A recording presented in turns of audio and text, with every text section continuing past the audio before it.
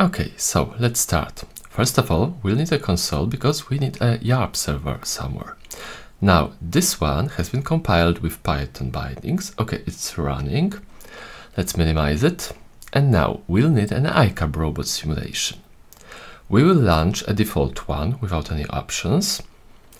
Now it will register itself under the name iCub sim. It's, we need to remember that. Next one is our gaze controller. The iCub simulation has been compiled with the gaze controller. Okay, we need to specify the correct robot name and the configuration file. This configuration file has the neck movements disabled. So we will be controlling the eyes only for now, but it will be enough. Okay, next one, we'll need uh, a camera output somewhere. We will use the YARP view. This is a Qt application.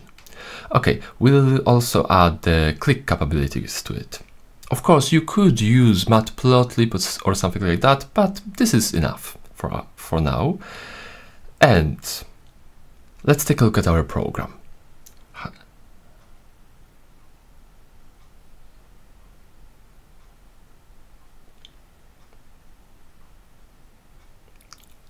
This is our program. As you can see, it's not quite long. It fits on a single page.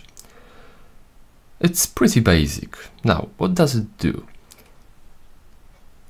Let's launch Python 3.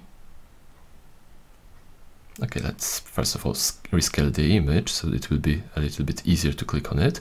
And let's concentrate on the iCub's face. Now, we have 10 seconds to click somewhere on the camera image and the eyes of the iCub will focus on this point. Okay, pretty easy. Now the source code. Okay, so the main gaze controller is over here. Here we go.